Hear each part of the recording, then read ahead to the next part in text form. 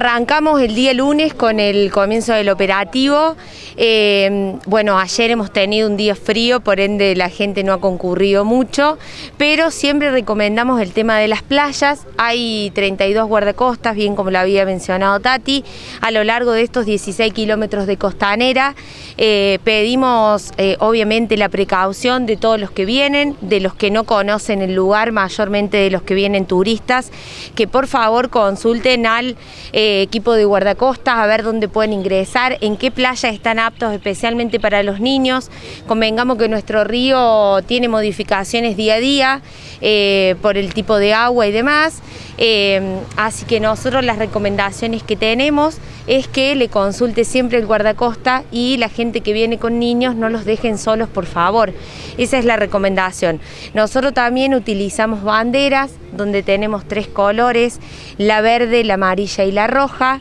Eh, también siempre estar atento a eso y hacerle caso obviamente al guardacosta que está a cargo de la playa. Sigue habiendo los mismos puestos, 15 puestos desde Barranca del Río hasta el Arenero, cubriendo estos 16 kilómetros de la costanera. Los más concurridos son el tema de las playas, como es el Arenero, como es Puerto Madero, como es eh, Santana, esos son los lugares porque tienen convocatoria también de asadores y familias para, para los fines de semana, como también la Baja de Entre Ríos. Eh, son los más concurridos. Los más peligrosos tenemos acá con puertas, el lago, eh, lo que es el Cristo, todos esos lugares donde, bueno, no se puede ingresar normalmente, ¿sí?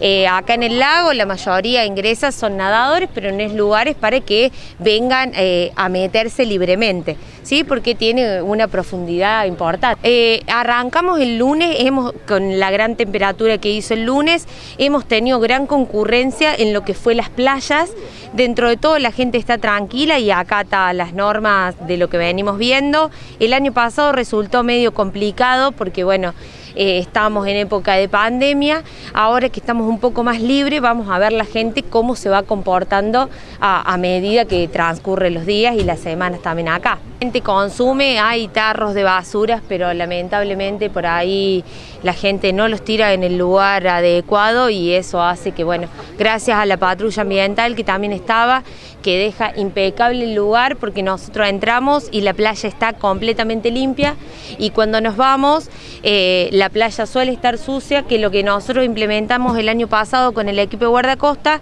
es empezar a repartir bolsas, cosa de que eh, se le daba a la gente para que limpiara el lugar.